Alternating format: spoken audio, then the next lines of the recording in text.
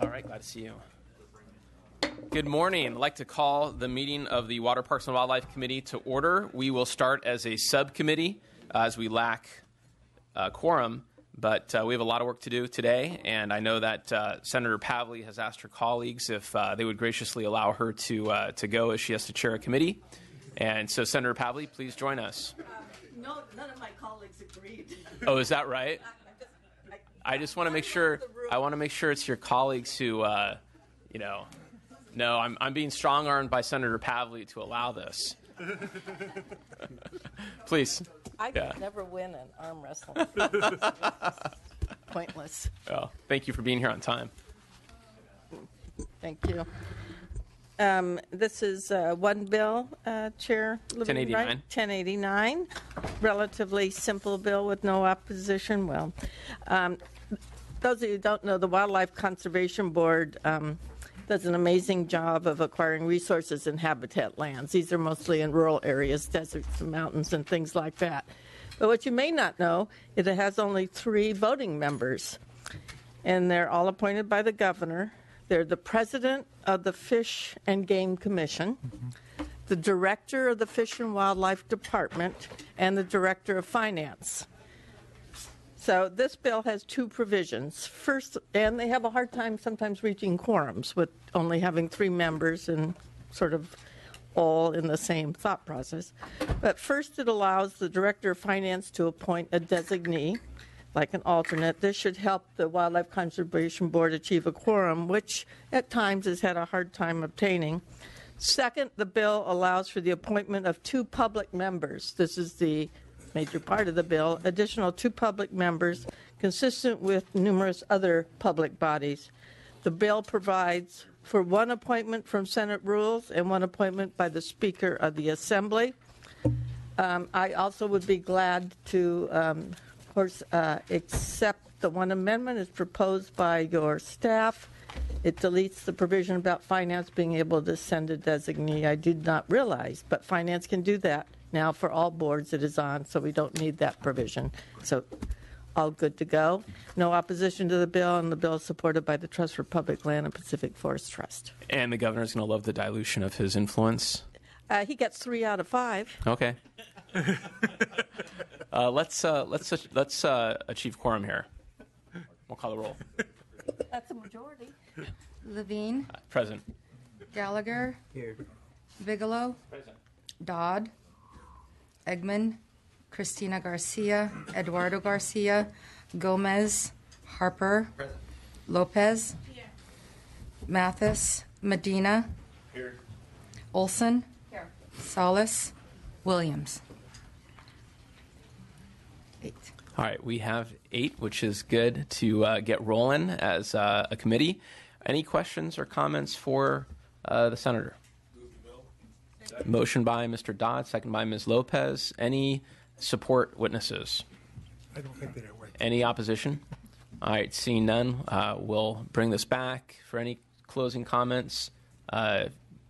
Ms. Pavley, would you like to close? No, I think the legislative participation in this important committee is uh, well advised, and um, hopefully the governor will agree as well. All right, the motion is due pass as amended. I recommend an aye vote. Uh, let's call the roll. The motion is to pass as amended to the Committee on Appropriations. Levine? Aye. Levine, aye. Gallagher? No. Gallagher, no. Bigelow? Bigelow, no. Dodd? Yes. Dodd, aye. Eggman? Christina Garcia? Eduardo Garcia? Gomez? Harper? No. Harper, no. Lopez? Aye. Lopez, aye. Mathis? Medina? Aye. Medina, aye. Olson? No. Olson, no. Solis? Williams? Four to four. All right, the vote is four to four. We'll keep the roll open to uh, add Thank some votes ver- later. Very much. Thank you, Ms. Pavley. Next, we have Senator Wolk. Thank you very much for your patience this morning. It's it's 9:07. That's not too bad. It's earlier than some of the committees that I serve on. Thank you for the consideration. All right. So first, Good you'll uh, you'll take up 554, and then uh, you have uh, 1340, if that's the order you'd, you'd like. Yes, Perfect. that would be you. fine. Thank you, Mr. Chair. Members, good morning. Um, I'm here to ask for the, rem- the permanent removal of the sunset, which uh, exists on the Delta Levee Subventions program that has to do with the cost shares. The program began in 19, 1973. 1973 it began. In 1980, there were very few projects that were brought to fruition with the 50 50 split at that point. In 1988, the cost share was changed to 75 25. That's 28 years ago. There have been three sunset bills since. When we put a sunset on a bill, it's to see if the program works. The program has been very successful. The PPIC mentioned that in one of their recent studies. But the evidence is the amount of money, local money, that has gone into protecting the levees. Prior to the 75 25 split 28 years ago, you had very few projects, somewhere between an average of um, 4 and 12 a year, with, with probably a total of $700,000 put invested. After that, you have an average of 55 to 65 projects a year for a value of local investment somewhere between 3 and 22 million. This is an incredibly good program. It doesn't need a sunset any longer. Why remove the sunset? You need to remove the sunset because these pro- first of all the program's working. And you have a situation where the program itself the projects are put together between the local partners and the state. There is always, with respect to each project, uh, an analysis of the, of the financial ability to pay. There has to be.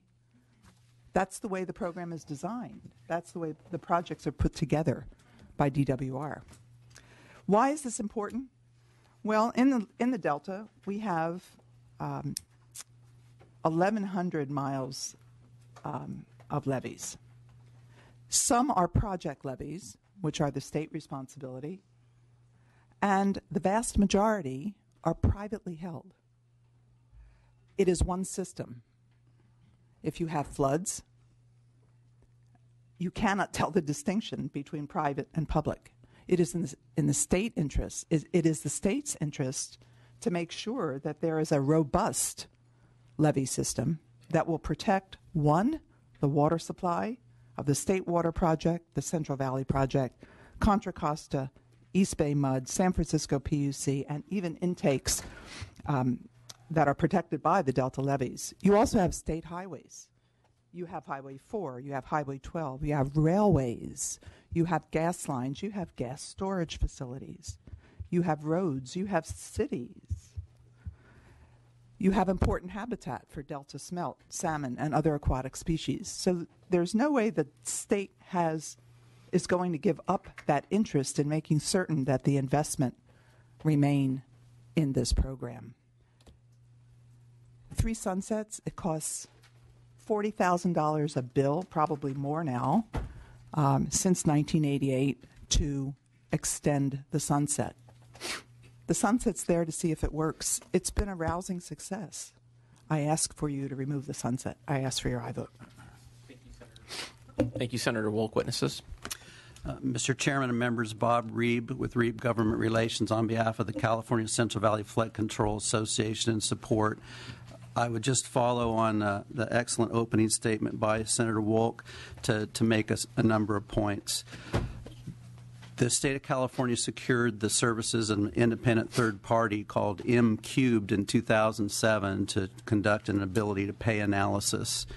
Uh, and the Delta Stewardship Council had a fellow conduct a similar analysis in 2014.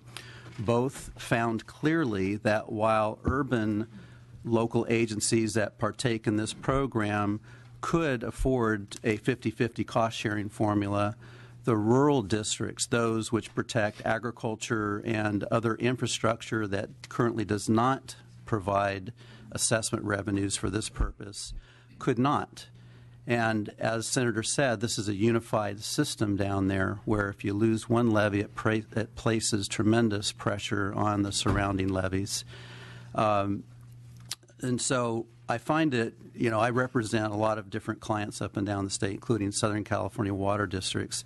I just have to say I find it a bit ironic or perhaps more than ironic, that Southern California water districts that are telling the state of California that the levees are crumbling and, and in bad shape and that they have to be uh, build this twin tunnels project in order to protect water quality oppose this bill, which primarily keeps those levees intact from a maintenance and rehabilitation standpoint. The other argument you may hear is that the Delta Levee investment strategy is being prepared by the Delta Stewardship Council, and we should wait. Well, we've waited a number of times, including the Delta Risk Management Study, and uh, and the bottom line is that this program can be amended by the legislature in any given year after the DL, DLIS is complete, if they have recommendations with respect to cost sharing formula or programs. Frankly, we believe that the Delta Levee investment strategy is going to look more closely at improvements to protect the type of infrastructure like state highways and transmission lines and natural gas facilities that currently do not provide assessment revenue for this type of purpose. So we think it's a good bill, one that's long overdue, and we would encourage an aye vote. Mr. Chairman, other members, Paul Yoder. I think all the uh, salient points in support have already been made by the senator and Mr. Reeb. So, on behalf of Sacramento County, San Joaquin County, Solano County, and the Delta Counties Coalition, just urge your aye vote on this bill. Thank you. Thank you. Other witnesses in support? Your, your, your name, your organization, and your position, please. Good morning, Karen Keene on behalf of the California State Association of Counties in strong support. Good morning, Marlene Dumaine with the East Bay Municipal Utility District, also in support. Good morning, Danny Merkley with the California Farm Bureau Federation in support. Thank you. Are there any witnesses in opposition?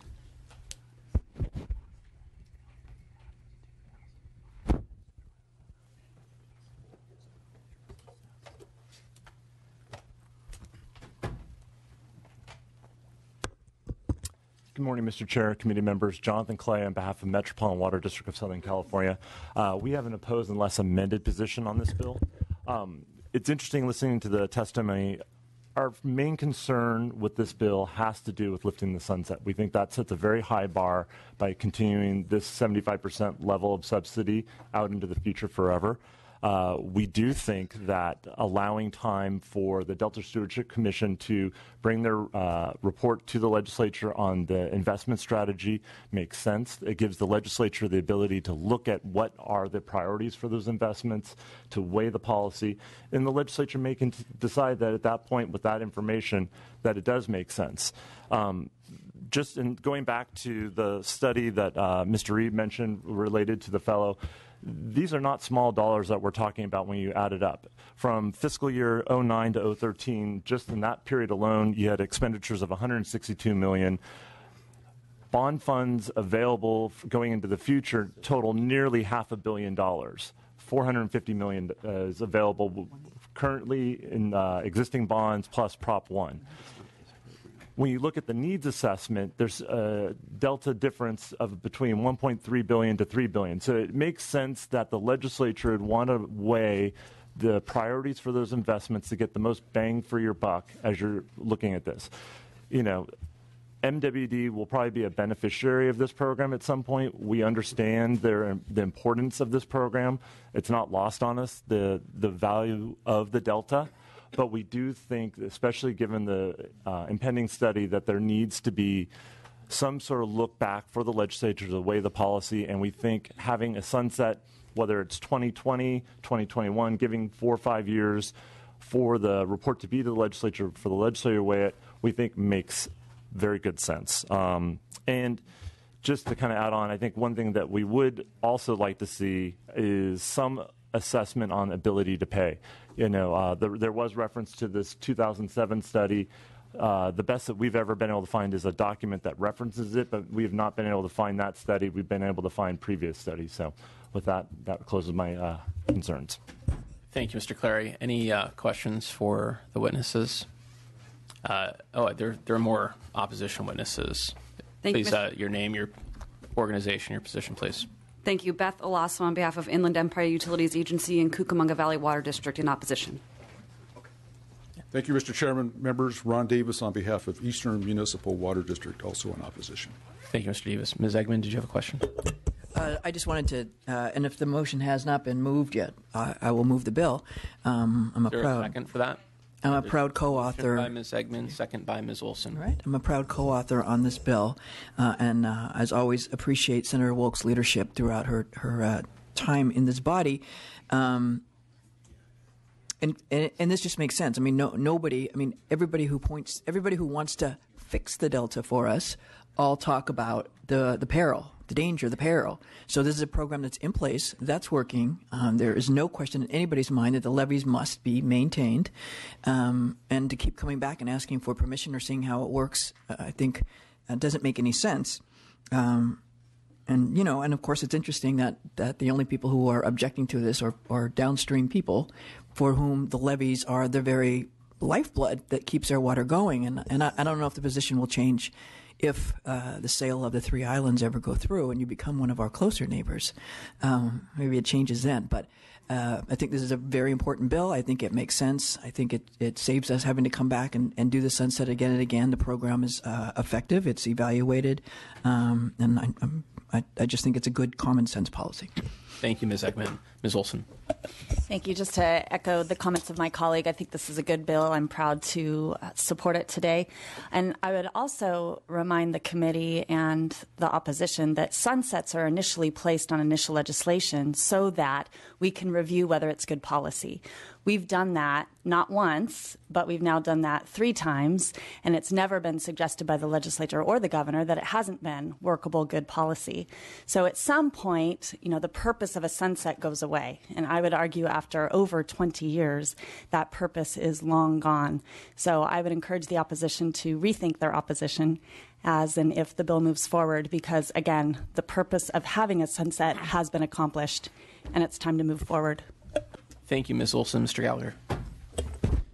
Yeah, so I'm I'm a little bit conflicted on this bill, and, and I'll tell you why. So, as you know, Senator, I I represent a district that has a lot of levees, uh, flood control, very important part of my district. Um, served on the Sacramento Area Flood Control Agency and the Sutter Butte Flood Control Agency on two different uh, boards dealing with flood control issues. Uh, Prop 1E was was great for us and able to you know make capital improvements to many of our levee systems uh, in the Sacramento Valley. Um, but under that program, it was the this the uh, status quo was 30% cost share, and then you got to go to 25% if you were a disadvantaged community and you could show that. And for a lot of uh, maintenance districts, um, they don't have that same 25% cost share that we've done here in the Delta. Um, I think it's a good point that all of our levee systems really are a part of a conduit. They certainly uh, provide flood con- flood protection for communities, but they're also a conduit for our water system.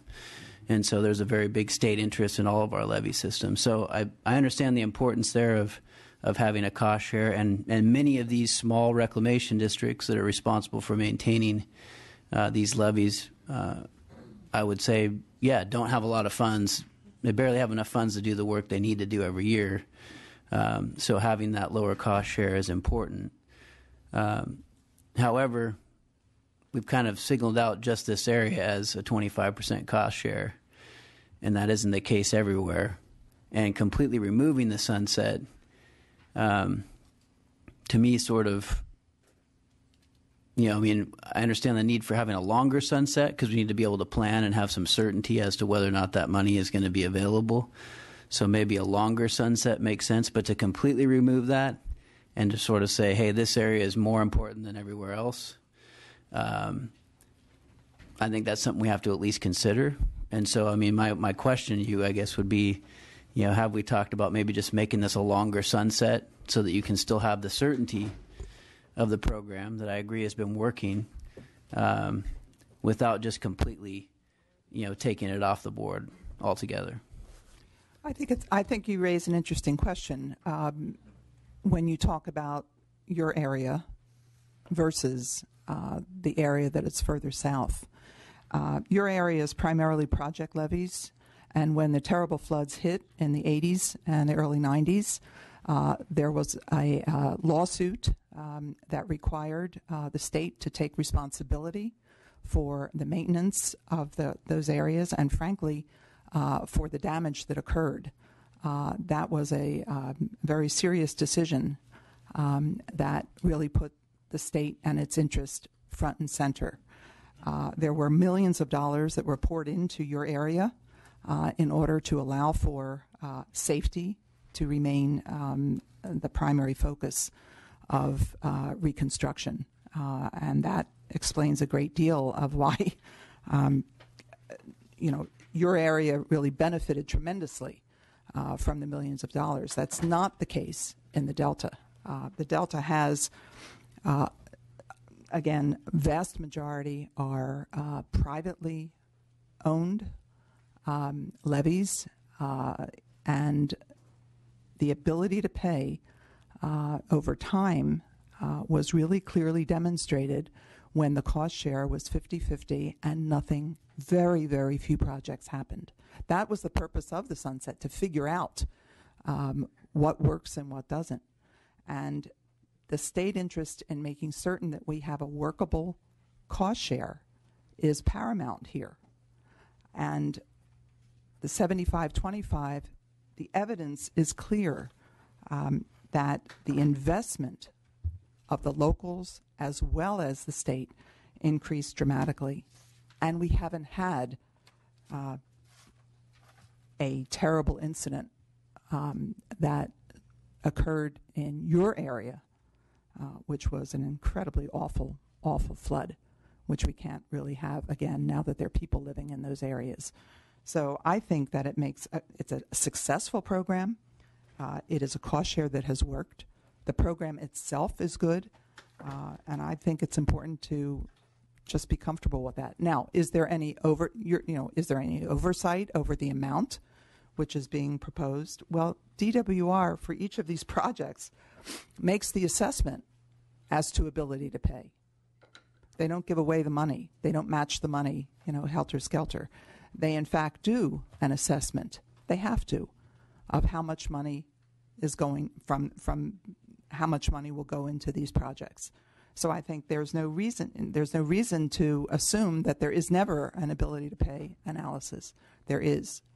Uh, so I think the protections are there. As for the um, and I just want to speak to uh, the amount of money that was raised um, by the opposition. That's not correct. Um, I have uh, $12 million um, in one year, for example, not billions. I think that that's, it would be great if there were billions, frankly. It would be wonderful. And frankly, the assessment of how serious a problem we have in the Delta uh, probably could use billions, but we're never going to have billions. Uh, so it's a very worthwhile investment uh, and one that will prevent the kind of destruction that happened in your area um, in the 80s and 90s.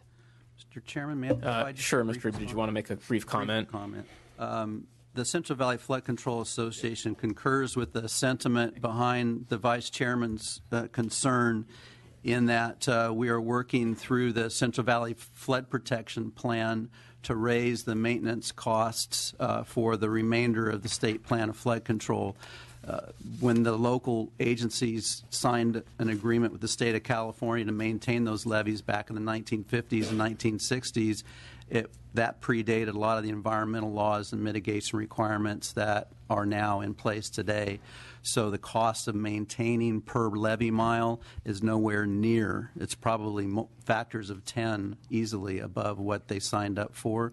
So we would uh, look forward to working with the vice chairman uh, in the preparation, the financing plan for the Central Valley Flood Protection Plan to try and address that, that concern. Right, and just briefly following up, um, first, I think you've made a, a good justification for why why you're uh, pushing it this way. Uh, but just to clarify, much of my district is also uh, maintained by local agencies, not not by the state. Um, actually, almost all the levees in the Sacramento Valley are maintained by local agencies who have the same problem, uh, trying to you know trying to provide the basic maintenance of levees with very limited resources. So the same issues exist there, and and millions of dollars have been put into both of our districts to improve those levees under Prop uh, 1E, which is a good thing, uh, and we needed to do that.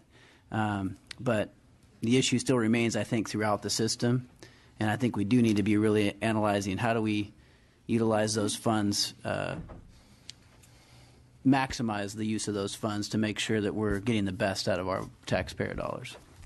Nice. Thank you very much, uh, Mr. Gallagher. Any other comments or questions from uh, members? Seeing none, um, I am recommending an aye vote on this. Uh, Mr. Gallagher raises some good points. There's about $100 billion of investments needed in our levees, but uh, in Senator Wolk's uh, bill, we've identified a very successful program. Uh, probably one of the most successful subvention programs in the state, and uh, one that started in 1973. The current mechanism for funding it in '88, and uh, you know how many times are we going to have someone to come back with a successful program to uh, to keep it going when it has a, a, great uh, a great model for success, and one in fact that perhaps other systems would be able to benefit learning from. Uh, so again, I recommend an aye vote. Let's call the roll. The motion is due pass to the Committee on Appropriations. Levine. Aye. Levine, aye. Gallagher. Aye. Gallagher, aye. Bigelow. Dodd. Eggman. Eggman, aye. Christina Garcia. Eduardo Garcia. Garcia, aye. Gomez. Harper. Harper, no. Lopez. Lopez, aye. Mathis. Medina. Olson. Olson, aye. Solis. Williams. Williams, aye. Six, seven, need one more. All right. Uh, Bill needs one more vote. We'll keep the uh, roll open for you. Thank you very much, Senator Wolk. Thank you very much, Mr. Chair. I have another bill. Yes, you do. That's right.